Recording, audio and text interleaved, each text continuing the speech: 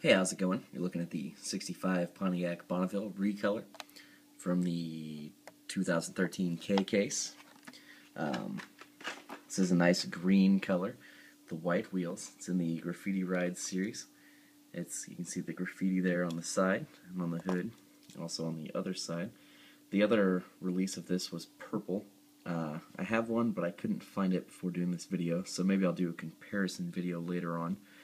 Uh, but this has a black interior, an orange windshield, and a very nice green paint. I really am a fan of this one. Uh, I, like the purple one too, but the green one is much better. Uh, if I remember right, the purple one had green wheels, which was cool, but definitely like the green paint with the white wheels. Much better. Nice looking casting. Uh, this is in the K case. Should be hitting stores relatively soon, I would guess. Thanks for watching. Check out my website, diecastic.com.